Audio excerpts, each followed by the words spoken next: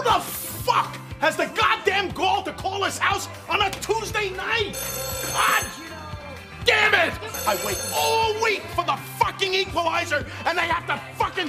Hello? Gene, how are you, Gene? Righto, Gene, that'd be great. Cheerio. It was absolutely bizarre. Fucking halfwit! It!